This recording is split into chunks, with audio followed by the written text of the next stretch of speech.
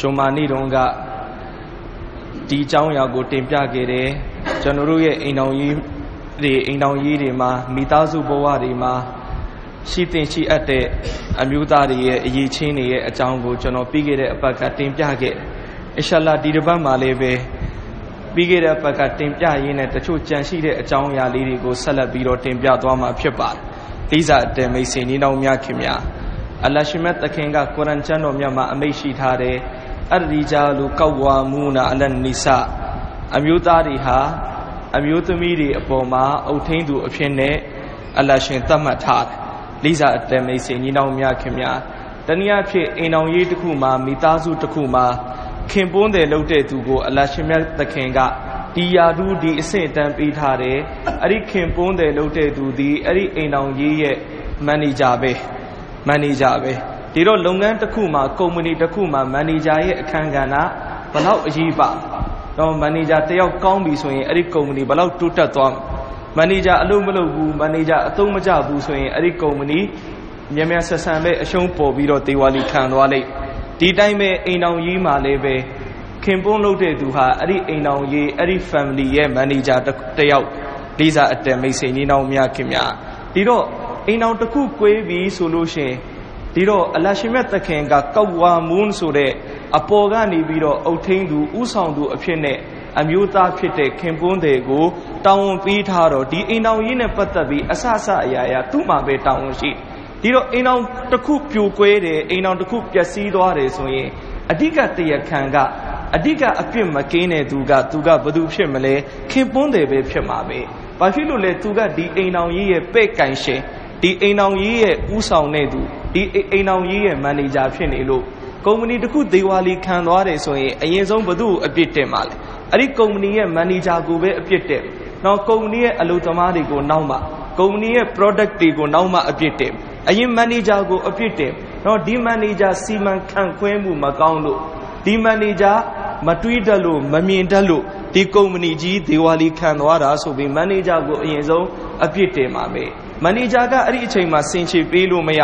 တော့ကျွန်တော်ကုမ္ပဏီကအလုပ်သမားတွေအတုံးမကျလို့ပါလို့သူပြောလို့မရအဲ့ဒီခါသူ့ကိုပြန်မေးမယ်ဒါဆိုမေးအလုပ်အတုံးကျတဲ့အလုပ်သမားဘာလို့မကန့်တာ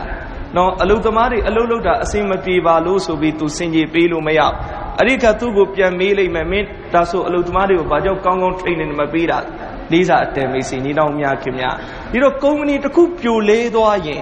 အဲ့ဒီကုမ္ပဏီရဲ့ပြိုလွဲပြိုလဲမှုဒေဝါလီခံမှုမှာ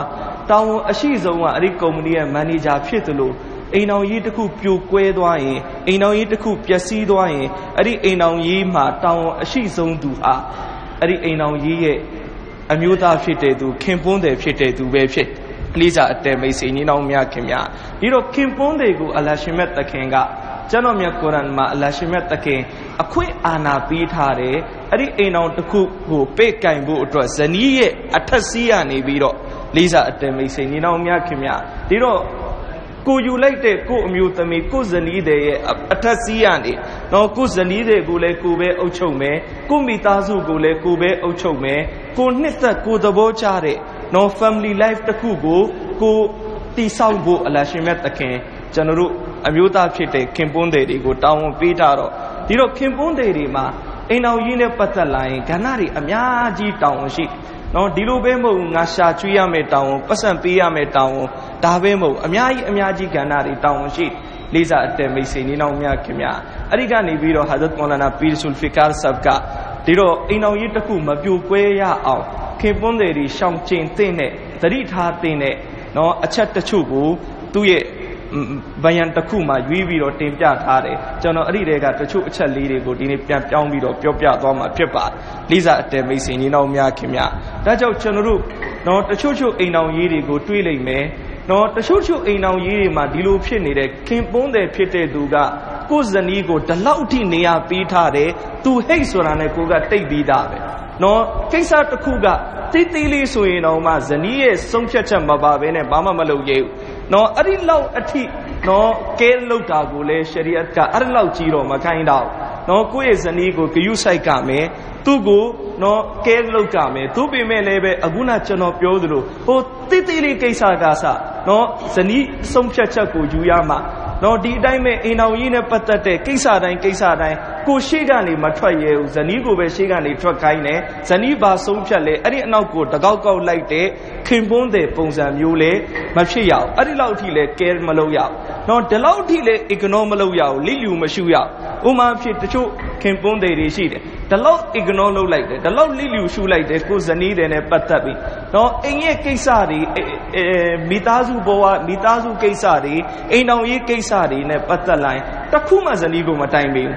နော်ဇနီးရဲ့မရှော်ရာဆိုတော့သူ့ရဲ့ဘဝမှာတခါမှသူယူလဲမယူသူလှုပ်ချင်တာအကုန်လှုပ် ဥမာဖြစ်အိမ်မှာဒီပစ္စည်းဝယ်ရင်ကောင်းမလားဒီခရီးထွက်ရင်ကောင်းမလားအိမ်ဒီကနေပြီးတော့ဟိုအိမ်ပြောင်းရင်ကောင်းမလားနော်ဒီအလုပ်ကနေဟိုအလုပ်ပြောင်းလို့ရင်ကောင်းမလားသားသမီးကိုဘယ်ကျောင်းမှာထားရင်ကောင်းမလဲဘယ်ပညာရေးသင်ရင်ကောင်းမလဲသူ့ဘသူနဲ့အိမ်အောင်ချပေးရင်ကောင်းမလဲသူ့ပေါ်မှာဘလို့နော်ချုပ်ကြရင်ကောင်းမလဲဘလို့အုပ်ထိန်ရင်ကောင်းမလဲစတာတွေအားလုံးကဇနီးမောင်နဲ့မရှဝရာလုပ်ပြီးသွားရ နော်ရှရီယတ်ကဘာပြောလဲခင်ပွန်းတရားဆုံးဖြတ်တဲ့သူရဲ့အဆင့်မှာရှိရမယ်ဇနီးဟာမရှော်ရာပေးတဲ့သူတိုင်ပင်တဲ့သူရဲ့အဆင့်မှာရှိရ ဒီလိုခင်ရှရီယတ်ကမပြောတော့ခင်ပွန်းမြတ်မင်းစင်တာမြတ်မင်းဆုံးဖြတ်မိမိမနဲ့ဒါနဲ့ဘာမှမဆိုင်ဘူးအဲ့ဒီလိုလေးပဲမပြောထားဘူးကိုယ်ဇနီးကိုမရှော်ရာလုပ်ရမယ်ငါတို့ကလေးကိုငါတို့ဘလို့ပုံစံလေးသူ့ကိုထိမ့်သိမ့်ရင်ကောင်းမလဲသူ့ကိုဘေးကြောင်းထားရင်ကောင်းမလဲငါတို့အိမ်ဘေးဦးပြောင်းရင်ကောင်းမလဲငါတို့ဒီအလုပ်ကနေဟိုအလုပ်လေးပြောင်းရင်ကောင်းမလားဒါဒီအားလုံးမှာဇနီးရဲ့မရှော်ရာလိုအပ်တယ်သို့ပေမဲ့ဆုံးဖြတ်တဲ့သူကတော့ခင်ပွန်းပဲဖြစ်က လေးစားအတဲမိတ်ဆွေညီနောင်များခင်များတချို့ခင်ပွန်းနေဒီလိုရှိတယ်ကိုယ့်ရဲ့ဇနီးကိုဒီလောက်ကိုမိသားစုကိုဒီလောက် ignore လုပ်လိုက်လိလူရှုလိုက်တယ်အိမ်ရောက်သွားပြီဆိုရင်လုံးဝအတီးကြီးဇနီးနဲ့လည်းပဲမရောဘူးကိုယ့်ရဲ့သားသမီးနဲ့လည်းမရောဘူးလုံးဝအတီးကြီးနေတယ်နော်တစ်ဖက်ကမိသားစုကလည်းငါတို့အဖေငါတို့ကိုရီးပြီးဘာစကားပြောမလဲစောင့်နေတယ်စောင့်နေတယ်နော် तू မပြောလောက်ဇနီးကလည်းပဲငါယောက်ျားငါ့ကိုဘာများပြောမလဲစောင့်နေတယ်စောင့်နေတယ်မပြောလောက် နော်အိမ်မှာအင်မတန်မှကိုပဲတလောက်တီတီတန့်တန့်ရင်နေတယ်အဲ့ဒီလိုနေခြင်းနဲ့ဒါမလုပ်သင့်တဲ့ကိစ္စတစ်ခုလေးစားအတဲမိတ်ဆွေနေနောက်များခင်များကိုယ့်ရဲ့မိသားစုနော်ကိုယ့်ရဲ့ဇနီးတွေကိုအင်မတန်မှကိုပဲနော်ရွှေရွှေမြူးမြူးဆက်ဆံရမယ်အင်မတန်မှကိုပဲဖော်ဖော်ရွရွဆက်ဆံရဖော်ဖော်ရွရွဆက်ဆံခြင်းကိုခံဖို့ဟတ်အရှိဆုံးကဒီမိသားစုဒီသားသမီးတွေပဲလေးစားအတဲမိတ်ဆွေဒီနောက်များခင်များဒါကြောင့်တမန်တော်မြတ်ကြီးဆလလောအလိုင်စလမ်ရဲ့ဘဝတတန်းကိုကြည့်ကြည့် တမန်တော်ဟာကဘာပေါ်မှာအကြီးကျယ်ဆုံးလူသားဖြစ်သို့ပေမဲ့တမန်တော်မိမိမိသားစုကိုငါဟာအကြီးဆုံးလူသားဖြစ်တဲ့အတွက်တီတီပဲနေမယ်အဲ့ဒီလိုတမန်တော်ဘရောမှမနေခဲ့ဘူးတမန်တော်မြတ်ကြီးဆလလောအလိုင်ဆမ်အိမ်ထဲကိုဝင်လာပြီဆိုရင်ဇနီးတွေကိုကြည်စေခဲ့တာလည်းရှိတယ်နော်ဇနီးတွေကိုအင်မတန်မှကိုပဲမြူးမြူးထူးထူးနေခဲ့တာလည်းရှိနော်တမန်တော်မြတ်ကြီးအိမ်ထဲဝင်လာတယ် နော်ဇနီးရေတောက်နေတယ်တမန်တော်ပြောတယ်ရေခဏချန်တာဇနီးတွေရေချန်ထားတယ်ပြီးတဲ့အခါရေခွက်ယူလာတယ်တမန်တော်မိတယ်ရေခွက်ကဘယ်နာကိုထိပြီးတောက်တာလဲနော်အိရှာတခိမပြောတယ်ကျွန်မဒီနာကနေတောက်တာအဲ့ဒီနာကနေတမန်တော်မြတ်ကြီးဆလလောအလိစလမ်တောက်ဆိုလိုတာကဇနီးတယ်နဲ့အဲ့ဒီလောက်နီးနီးဆက်ဆက်ရော့ရော့နော်နော်နေဒါကြောင့်လေဒါကဇနီးပဲကိုနဲ့ဟာလာဖြစ်တဲ့သူပဲသူနဲ့မရောလို့သူနဲ့မရင်းနီးလို့နောက်ဘသူနဲ့သွားရင်းနီးပြီးတော့နေမှလေးစားအတဲမိတ်ဆွေနေနောက်မြခင်မြဒီတိုင်းမဲ့ဇနီးတဲ့ကိုဂယုဆိုင်တမန်တော်မြတ်ကြီးဆလလောအလိဆမ်တရက်ဂဇဝါတစ်ခုကနေပြီးတော့ပြန်လာနေတဲ့အချိန်တမန်တော်မြတ်ကြီးရဲ့ခြေရာတော်တစ်ပါးဟာကလုတ်အပေါ်မှာထိုင်ပြီးတော့စီးနေတယ်အဲ့ဒီကလုတ်ကိုဆွာဘာတစ်ပါးကကျူးနေဆွေးတယ်ဆွေးတဲ့အခါမှာအဲ့ဒီဆွာဘာကတလောက်မြန်မြန်ဆွေးလိုက်တယ်ကလုတ်ကလည်းအနောက်ကနေတလောက်ပြေးပြေးပြီးတော့လိုက်ဒီလိုကလုတ်ပြေးပြေးပြီးလိုက်နေရတော့အပေါ်ထိုင်နေတဲ့သူလည်းပဲတိတ်အဆင်ပြေမှာမဟုတ်ဒီတော့တမရမက်ဆလောက်ဆန်လှမ်းပြီးတော့အဲ့ဒီဆွာဘာကိုအော်ပြောတယ်ကလုတ်ကိုဂယုဆိုင်ပြီးဆွဲအဲ့ဒီကလုတ်အပေါ်မှာထိုင်နေတဲ့သူကဒီလိုပုံကို तू ကတမန်တော်နော်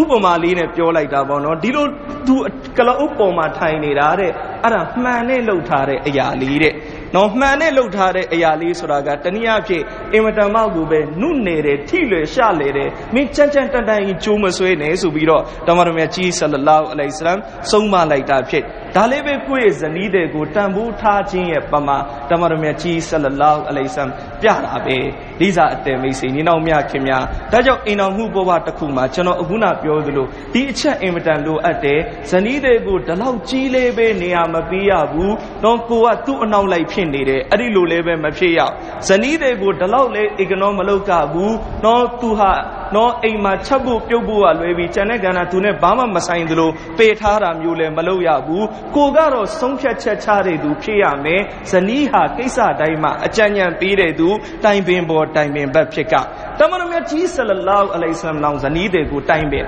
နော်တမန်တော်မြတ်ဆလလောအလိုင်စလမ်နော်ဟူဒိုင်ဘီယာမှာနော်ဆွာဟာဘာတွေအားလုံးကိုတမန်တော်အမိတ်ပေးလိုက်ပြီးဆွာဟာဘာတွေကိုနော်အားလုံးအခုမကာရဲကိုဝင်လို့မရ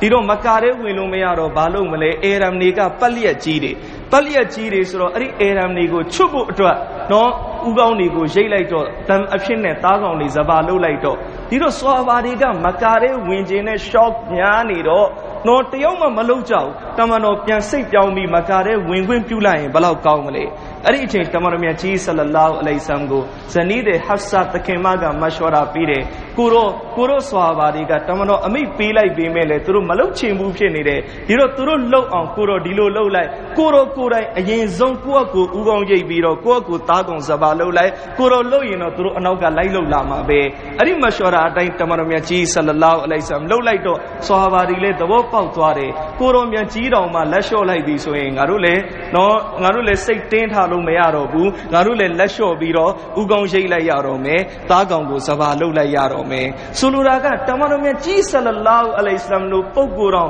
ဇနီးရဲ့မရှဝရာယူတယ်ဆိုလို့ရှိရင်ကျွန်တော်တို့တွေဒီလိုမျိုးမနေရဘူးနော်ငါမိမ तू ဘာဆိုင်လို့လဲ तू အလုံးမမဟုတ်တာဒါ तू နဲ့မှမဆိုင်တာနော်ငါအိမ်ကိစ္စငါဆုံးဖြတ်မယ်ငါအလုပ်ကိစ္စငါဆုံးဖြတ်မယ်ငါသားသမီးကိစ္စငါဆုံးဖြတ်မယ်အဲ့ဒီလိုလေးပဲမဟုတ်နော်နောက်ဆုံးမရှောရာမယူခြင်းတော့မှ တော့ကိုယ်မှာဆုံးဖြတ်ချက်ချပြီးသားရှိရင်တော့မှတော့သူလေးပဲစိတ်ကြည်နဲ့သွားအောင်သူ့စီကမရှောရာတော့တောင်းလိုက်အဲသူပေးတဲ့အခါမှာလဲဒီလိုကမကောင်းဒီလိုကပြန်ကောင်းကြောင်းရှင်းပြလိုက်ရင်ဘလို့မဆိုဇနီးလဲကြည်နဲ့သွားမယ်။အော်ငါယောက်ျားငါကိုနော်ငါကိုသူနေရပေးတာပဲငါစီကအကြံဉာဏ်တော့သူယူတာပဲသူကသူကြီးဆုံးဖြတ်တာမှမဟုတ်တာလေးစားအတဲမိတ်ဆွေညီနောင်များခင်ဗျာဒီတိုင်းပဲနောက်တစ်ချက်ဟဒတ်ပီဆပ်ကတင်ပြတယ်။တော့ကျွန်တော်တို့အများကြီးယောက်ျားလေးတွေရှိတယ်။နည်းနည်းလေးစကားများပြီဆိုရင်ဇနီးကိုဘာနဲ့ချင်းချောက်လဲနင်းကိုတလတ်ပေးလိုက်ရမလား။နင်းကိုငါကွာပြီးတော့တွားလိုက်ရမလား။အဲ့ဒီလိုချင်းချောက်ဒါဟာအင်မတန်မှကိုပဲကျွန်တော်တို့ရဲ့နော်မှားယွင်းတဲ့လောက်ရကြီးတစ်ခုပဲဖြစ်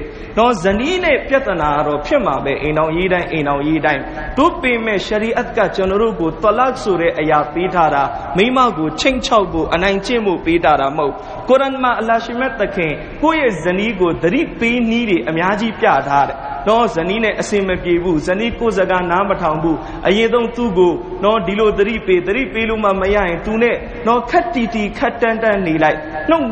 စိတ်စိတ်နေလိုက်စကားနည်းနည်းပဲပြောတော့အဲ့ဒီလိုမှဇနီးပြောင်းရင်ပြောင်းလဲလာမယ်နှုတ်မဆိုရင်အေးရတတ်တတ်ခွဲအိတ်စတဲ့အချက်တွေကုရ်အန်ကပြထားတယ်သို့ပေမဲ့ကုရ်အန်ကဒီလိုမပြောထားဘူးမိမနဲ့အစင်မပြေရင်မိမကိုနေကိုတလောက်ပေးလိုက်မယ်ဆိုပြီးချင်းချောက်အဲ့ဒီခံမိမကြောက်လာမယ်ကုရ်အန်ကကျွန်တော်တို့ကိုအဲ့ဒီလိုမခိုင်းတော့လေးစားအတဲမိတ်ဆွေနေတော်များခင်များဒီနေ့ကျွန်တော်တို့နေကာလုတ်တယ်ဆိုတာကဘာနော်အနောက်တိုင်းမှာအင်္ဂလိပ်တွေရှိတယ်သူတို့တွေနေကာလုတ်ပြီဆိုရင်ဂရုသားနဲ့ဂရုသမီးအပြန်အလှန်လက်စွပ်လေးတွေစွတ်လိုက်ကြ နော်စစ်ဆက်လက်စွပ် engagement ring လေးတွေသူတို့စွတ်လိုက်ကြစွတ်လိုက်တဲ့သဘောကဘာလဲတစ်ဖက်နဲ့တစ်ဖက်ဂရိပြုလိုက်တာငါလည်းနေပေါ်သစ္စာရှိမယ်နေလည်းငါအပေါ်သစ္စာရှိအဲ့ဒီ ring လေးတွေဝစ်ထားတယ်လက်သွကြွယ်မှာဝစ်ထားတယ်ဆိုရင်ဒါစစ်ဆက်ထားတဲ့သူတို့မို့ဆိုရင်အိမ်အောင်ရှိတဲ့သူသူတို့အဲ့ဒီလိုယူဆ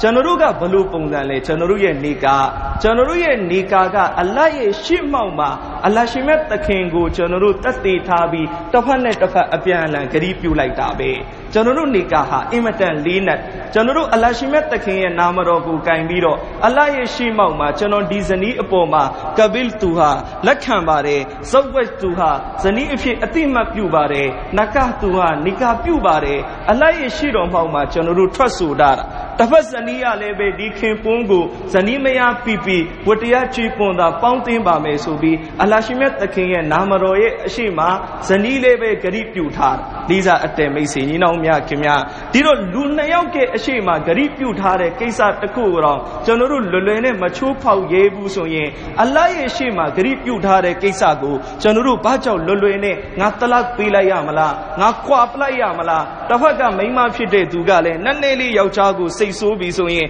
ရှင်ကျုပ်ကိုအခုကွာပေးစမ်းအခုကွာပေးစမ်းအဲ့ဒီလိုမျိုးမပြောရလေးစားအတဲမိတ်ဆွေညီနောင်များခင်များဒီတော့အိမ်အောင်ကြတယ်ဆိုတာကတယောက်နဲ့တယောက်ယုံကြည်မှုတွေနဲ့ကိုယ့်ဘဝသူ့ကိုအပ်သူ့ဘဝကိုယ့်ကိုအပ်အဲ့ဒါကိုလောက်ကြလေးစားအတဲမိတ်ဆွေညီနောင်များခင်များ တစ်ဖက်ဇနီးဖြစ်တဲ့သူကလည်းမိအဖေအိမ်ကနေထွက်လာပြီးကိုယ့်ဘဝကိုယောက်ျားစီကိုယုံယုံကြည်ကြည်နဲ့အပ်လိုက်တော့ယောက်ျားဖြစ်တဲ့သူကလည်းငါရဲ့ကြံရှိတဲ့တတန်ငါရှာတာငါဖွေတာငါဘဝငါအချိန်ဒီဇနီးကိုပေးပါမယ်ဆိုပြီးသူလည်းသူ့ဘဝဇနီးကိုအပ်လေးစားအတဲမိတ်ဆွေညီနောင်များခင်များထိခနဲ့ရန်ဖြစ်တာနဲ့ဒီဘက်ကယောက်ျားဖြစ်တဲ့သူကလည်းတလတ်ပေးလိုက်ရမလားတလတ်ပေးပြစ်လိုက်မယ်လို့နော်ဆိုပြီးချင်းချောက်တယ်တစ်ဖက်ကမိန်းကလေးဖြစ်တဲ့သူကလည်းနည်းနည်းဆိုရင်တလတ်တောင်းတော့ဒီအိမ်တော်ကြီးမှာဘာဖြစ်သွားလဲတယောက်နဲ့တယောက်ယုံကြည်မှုတွေပျောက်ဆုံးသွားတယ် လေးစားအတဲမိတ်ဆွေနေတော်များခင်များဒီတော့ယောက်ျားဖြစ်တဲ့သူကခဏခဏတလတ်ပေးလိုက်ရမလားချင်းချောက်တော့ဇနီးရဲ့ရင်ထဲမှာဓာဝင်သွားတယ်။အော်ငါယောက်ျားတော့ငါ့ကိုတသက်လုံးပေါင်းမဲ့ပုံမပေါ်ဘူး။ तू တရက်တော့ငါ့ကိုတလတ်ပေးပြီးထားခဲ့မလားမသိဘူး။ဒီတော့ငါဘဝမှာနောက်တစ်ယောက်ကိုတော့ငါအခိုကိုရပြုရတော့မယ်။ငါအဖေအမေကိုတော့ငါတော့ငါဘဝမှာငါယောက်ျားငါ့ကိုတလတ်ပေးလိုက်ရင်ငါမိဘအိမ်တော့ငါတနေ့ပြန်ရမှာပဲ။စတဲ့ယောက်ျားအပေါ်မှာယုံကြည်မှုတွေအားနေသွား။ နော်အဲမိန်းမဖြစ်တဲ့သူကလည်းခဏခဏငါကွာပေးစမ်းကွာပေးစမ်းဒီလိုပြောတော့ယောက်ျားဖြစ်တဲ့သူမှလည်းယုံကြည်မှုအားနေသွားတယ်။အော်ငါမိန်းမတော့ငါ့ကိုမပေါင်းချင်တော့ဘူးလားမသိဘူး။ तू ခဏခဏကွာခိုင်းနေတာ तू ငါနဲ့စိတ်တွေပါတွေမပါတော့လို့လားမသိ။ဒီတော့တစ်ဖက်နဲ့တစ်ဖက်ယုံကြည်မှုအားနေသွားခြင်းက အဲ့ဒီအိမ်အောင်ရေးမှာအများကြီးပြဿနာတွေဖြစ်လာဖို့အကြောင်းကံပဲလိစာအတဲမိတ်ဆွေညီနောင်များခင်များဒါကြောင့်ကျွန်တော်တို့ဇနီးမယားနော်ကိုခင်ပိုးနဲ့ဇနီးပြဿနာတက်တယ်ဆိုလို့ရှိရင်အဲ့ဒီပြဿနာကိုတခြားပုံစံနဲ့တစ်ဖက်နဲ့တစ်ဖက်သတိပေးပါဘရောမှဒီဘက်ကလည်းပဲတလတ်ပေးလိုက်ရမလားဟိုဘက်ကလည်းကွာပေးစမ်းပါအဲ့ဒီဇကားကိုကျွန်တော်တို့အိမ်တော်ရေးမှာဘတော်မှထည့်သွင်းပြီးတော့မယူလာနဲ့အဲ့ဒီအိမ်တော်ရေးမုတ်ချ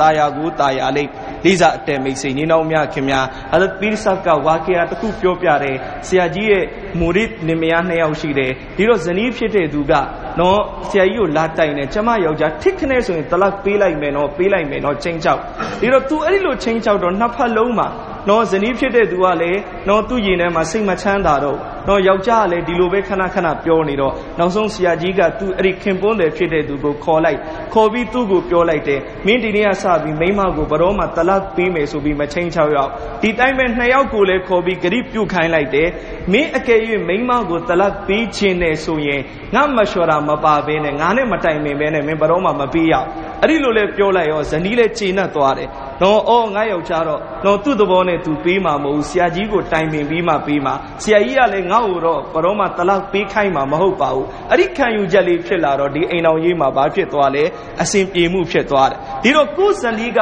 ကိုယ့်ကိုဒီလိုယုံကြည်မှုဖြစ်သွားရမယ်ငါယောက်ျားငါ့ကိုဘရောမှာပြစ်မဲ့ယောက်ျားမျိုးမဟုတ်ပါဘူးကွာနော် ကိုရောက်ခင်ပွန်းတဲ့ကလည်းဇနီးအပေါ်မှာဒီလိုယုံကြည်မှုမျိုးဖြစ်ကမယ်ငါမိမဘယ်အချိန်နေမှမဆိုဘယ်ဒုက္ခမှမဆိုငါဘေးနားမှာရှိပြီးငါကိုထားသွားမယ်မိမမျိုးမဟုတ်ပါဘူးကွာအဲ့ဒီခံယူချက်တွေနှစ်ဦးနှစ်ဖက်မှာအပြန်အလှန်ဝင်လာပြီဆိုရင်အဲ့ဒီအိမ်တော်ကြီးမသားရစရာဘာအကြောင်းမှမရှိတော့ဘူးလိစာအတန်မိတ်ဆွေညီနောင်များခင်များနောက်တစ်ချက်ကဘာလဲဆိုတော့ကျွန်တော်တို့အများကြီးအများကြီးလူတွေရှိတယ်နော်ဇနီးတွေနဲ့ပြဿနာဖြစ်ပြီးဆိုရင်ဘာနဲ့ထက်ချင်းချောက်လဲနောက်အိမ်တော်ပြုတ်လိုက်ရမလားဆိုပြီးတော့ချင်းချောက်နော်ငါနောက်နေကာလှုပ်လိုက်ရမလားနော်ငါအခုလှုပ်ချင်လှုပ်လိုက်လို့ရတယ်နော်အဲ့ဒါဒီနဲ့ချင်းချောက်ဒါလေးအင်မတန်မှကိုပဲဆိုးရွားတဲ့ကိစ္စပဲလိစာအတန်မိတ်ဆွေညီနောင်များခင်များရှရီယတ်တရားတော်ကကျွန်တော်တို့ကိုဒုတိယနေကာတွေတတိယနေကာတွေပြုတ်ခိုင်းထားတာမဟုတ်နော်ဒါကိုကျွန်တော်တို့သဘောပေါက်ရယောက်ျားလေးတွေကိုနေကာတွေနှစ်ခုသုံးခုလေးခုတွေပြုတ်ခိုင်းထားတာမဟုတ်တမန်တော်မြတ်ကြီးဆလလာဟူလိုက်ဆမ်ကခေတ်ကကာဖီမုရှ်တစ်တွေက မိမယူရင်10ယောက်15ယောက်တပြိုင်တည်းယူကြတော့မိမတွေအဲ့လိုတတိတန်းကြီးထားကြဒီတော့အဲ့ဒီလိုတဘုံကြီးတဘုံကြီးမိမယူတဲ့အစင်အလာကိုအစ္စလာမ်ကချုပ်ဖြတ်တဲ့အနေနဲ့၄ယောက်ယူခြင်းတပတ်ဆိုရင်တော့မှ၄ယောက်ပဲယူလို့ရမယ်ဆိုပြီးကန့်တက်လိုက်တာပဲရှိတာနော်လူတယောက်သူ့မှာမီလီယံနာဘီလီယံနာဖြစ်တယ်မိမပေါင်းတစ်ထောင်လောက်ယူလို့ရရင်လည်းပဲအစ္စလာမ်ကပြောထားတယ်၄ယောက်ထက်မပူရဘူးအရေးအတွက်ကိုကန့်တက်တာပဲရှိတယ်ယူခိုင်းနေတာမဟုတ်လေးစားအတဲမိတ်ဆွေညီနောင်များခင်များအဲ့ဒါကိုကျွန်တော်တို့ကမသိရင်အစ္စလာမ်ကပဲယူခိုင်းထားသလိုမျိုးအဲ့ဒီအသွင်စကားလုံးတွေကျွန်တော်တို့မပြောရနော်လေးစားအတဲမိတ်ဆွေညီနောင်များခင်များတမန်တော်မြတ်ကြီးဆလလာဟူအလိုင်စလမ်ကနော်ဟာဒီစ်တော်မှာဒီလောက်အမိတ်ရှိထားတယ်လူတယောက်ဒုတိယအိမ်အောင်ဖြူတာတော့မှန်တယ်ဒါပေမဲ့ကုရ်အာန်ကဘာပြောထားလဲကုရ်အာန်ကစီကံခံထားတယ်ညှတစွာထားနိုင်မှဒုတိယအိမ်အောင်ဖြူရမျှတစွာထားနိုင်မှ ဒီတော့မျှတစွာ तू မထားနိုင်ဘူးမထားနိုင်ဘဲနဲ့ဒုတိယအိမ်တော်ပြုတယ်ဆိုလို့ရှိရင် तू ဟာနတ်ဖန်ကေယာမတ်နေမှာတဲ့လီဖြတ်နေတဲ့သူတယောက်ကအဖြစ်နဲ့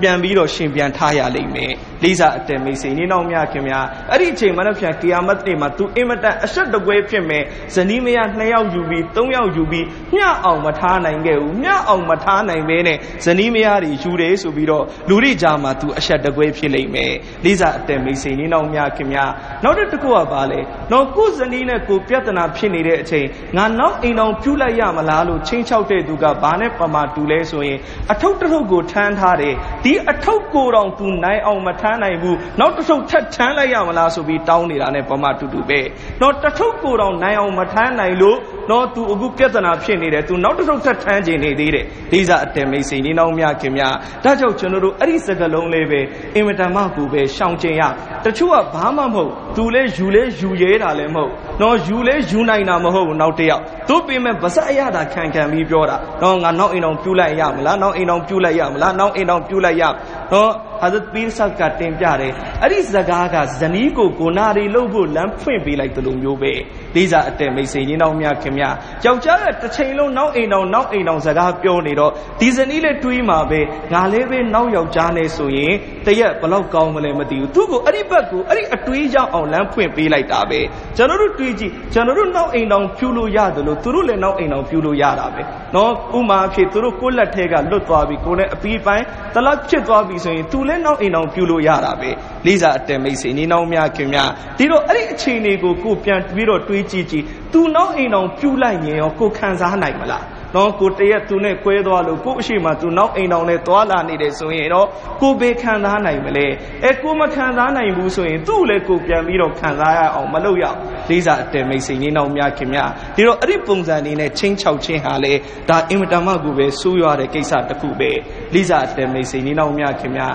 ဒါကြောင့်သာသနာပညာရှင်တွေအထူးသဖြင့်ရှရီယတ်ကလမ်းညွှန်ချက်ကုရ်အာန်ကလမ်းညွှန်ချက်ကပါလေဇနီးနဲ့ပြဿနာတက်ပြီးဆိုလို့ရှိရင်တော့တလတ်ကနာမည်တော်မကိုင်းနဲ့ဘာလို့ကမလဲနောက်ဆုံးအဆင့်ဒီဇနီးနဲ့ကိုနဲ့အိမ်မှာနှစ်ဦးတည်းညှိနှိုင်းတာညှိနှိုင်းလို့မရတော့ဘူးနော်မရတော့ဘူးဆိုရင်ရှရီယတ်ကဘာပြောလဲကိုယ်စလေတွေတတ်မှတ်လိုက် ကိုယ့်ဘက်ကကိုယ်စလေသူ့ဘက်ကကိုယ်စလေအဲ့ဒီကိုယ်စလေချင်းညှိကြနော်ကိုသူ့ကိုယ်စလေရလဲသူ့လိုအပ်ချက်တွေတောင်းဆိုမယ်ကိုကိုယ်စလေရလဲကိုလိုအပ်ချက်တွေပြောမယ်အဲ့ဒီကိုယ်စလေချင်းထက်ညှိများသောအားဖြင့်ကိုယ်စလေချင်းညှိလိုက်တဲ့အခါအစဉ်ပြေသွားတဲ့သူတွေအများကြီးပဲဒိစာအတဲမိတ်ဆွေနေနောက်များခင်ဗျာကိုယ်စလေချင်းညှိလို့မှအစဉ်မပြေမှနောက်ဆုံးတလတ်ဆိုတဲ့စကားလုံးကိုယူရမှာလိစာအတဲမိတ်ဆွေနေနောက်များခင်ဗျာဒါကြောင့်အစ္စလာမ်သာသနာတော်မှာအစ္စလာမ်ကဤစနစ်အတိုင်းကျွန်တော်တို့အိမ်တော်ကြီးကိုသွားမယ်ဆိုရင်တလတ်ဆိုတာအဝေးကြီးပဲဒီနေ့ကျွန်တော်တို့တွေအများကြီးကနမတ်ဖတ်လားဆိုတော့ဖတ်တယ်နော်ကုရ်အန်ဖတ်လားဆိုတော့ဖတ်တယ်ဇီကင်လုပ်လားဆိုတော့လုပ်တယ်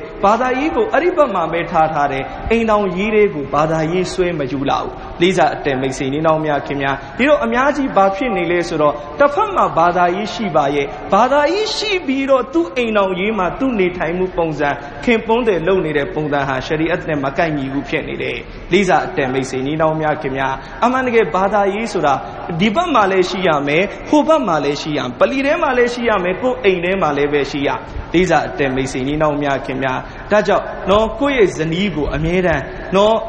ကိုယ့်ကိုကြောက်ဖို့ထက်အလကိုကြောက်ဖို့သင်ပေးပါ ဇနီးကိုနော်အများကြီးယောက်ျားလေးတွေရှိတယ်ဇနီးကိုခြောက်ထားတယ်ငါဘာကောင်လဲသိတယ်နော်ကိုကိုကြောက်အောင်သူ့ကိုမလုံးနဲ့အလတ်ကိုကြောက်အောင်လုပ်ကိုကိုကြောက်ရင်ကိုအရှိမပဲကိုကြိုက်တယ်လို့နေလိမ့်မယ်ကိုကွယ်ရမှာသူနေခြင်းတယ်လို့နေလိမ့်ဒီဇနီးအလတ်ကိုကြောက်သွားပြီဆိုရင်ကိုအရှိမကောကိုကွယ်ရမှာကောကိုလိုချင်တဲ့ပုံစံသူနေလိမ့်လေးစားအတယ်မိတ်ဆွေနေအောင်များခင်များဒီတိုင်းပဲနောက်ထပ်တစ်ချက်ကပါလဲဆိုတော့နော်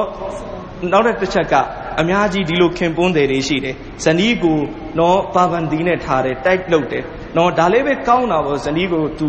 ဟိုကန့်တက်မှုတွေနဲ့ထားတယ်ချုပ်ချယ်မှုနဲ့ထားတယ်ချုပ်ချယ်မှုဆိုတာလေလူဝကျွံအောင်ချုပ်ချယ်မှုမဟုတ်ရှရီယတ်ကဘောင်တွေကချုပ်ချယ်မှုရှရီယတ်ကခွင့်ပြုထားတဲ့ကိစ္စကိုသွားချုပ်ချယ်ပိုင်ခွင့်မရှိဥမာဖြစ်ဒီဇနီးနော်သူ့အမေအိမ်သွားမယ်နော်သူသွားခြင်းတယ်နော်ကို့မှလည်းလိုက်ပို့ပေးနိုင်တယ်သွားခိုင်းလို့လည်းဘာမှအခက်ခဲမရှိဘူးအဲ့ဒါဆိုရင်သွားပါစေပေါ့အဲ့ဒါတွေကိုသွားပြီးမချုပ်ချယ်ရအောင်နော်ဥမာဖြစ်သူ့အကိုအရင်လာတယ်သူရင်းမောမောထွက်ပြီးတော့စကားပြောမယ်နော်အဲ့ဒါတွေကိုသွားပြီးမချုပ်ချယ်ရအောင်ဒါဘောင်တွေကကိစ္စ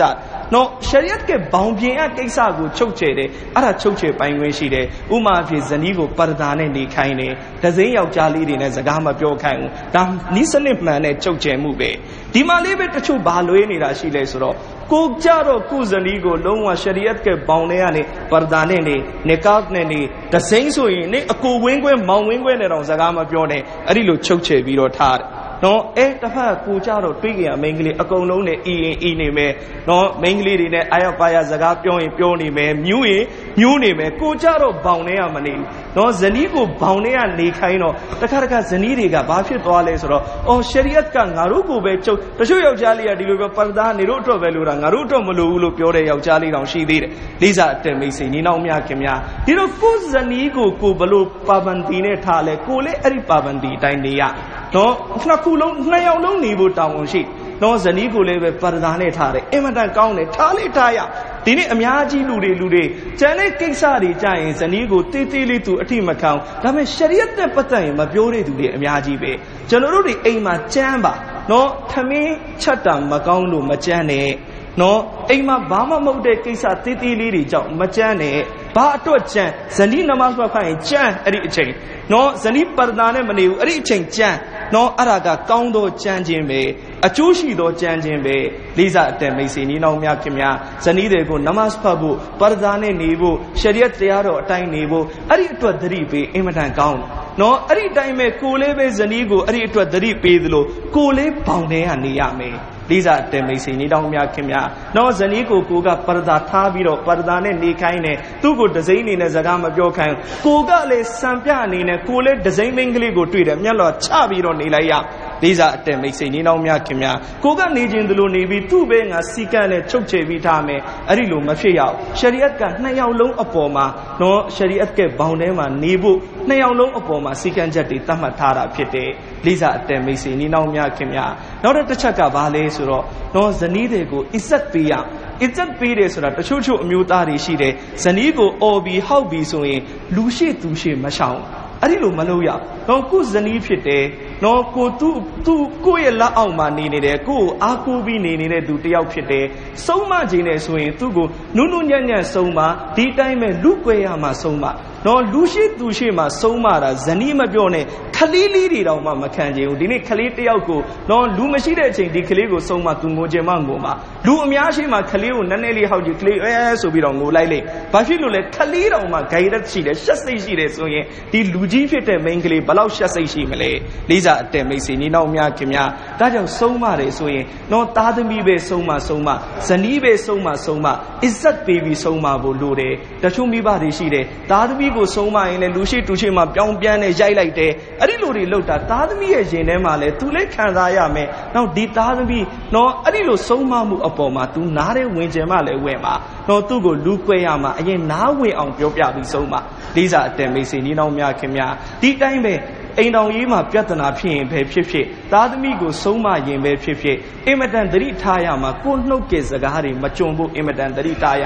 တချို့လူတွေရှိတယ်ပြဿနာဖြစ်ပြီဆိုရင်ဗဇက်ကထွက်ကြရစကားပြောတယ်ငါနေနဲ့တတလုံးမပေါင်းကွာနေနာတတလုံးမလာဘူးကွာတချို့ချို့ကိုရဲ့အတုံးနှုံးတွေကတလတ်လို့မသုံးပေမဲ့တလတ်ကြသွားစရာတွေရှိတဲ့အတွက်အဲ့ဒီလိုအတုံးနှုံးတွေကိုဇနီးနဲ့ရန်ဖြစ်တဲ့အချိန်ယောက်ျားလေးတွေဘက်ကနေအင်မတန်မှကိုပဲစင်ချင်ရ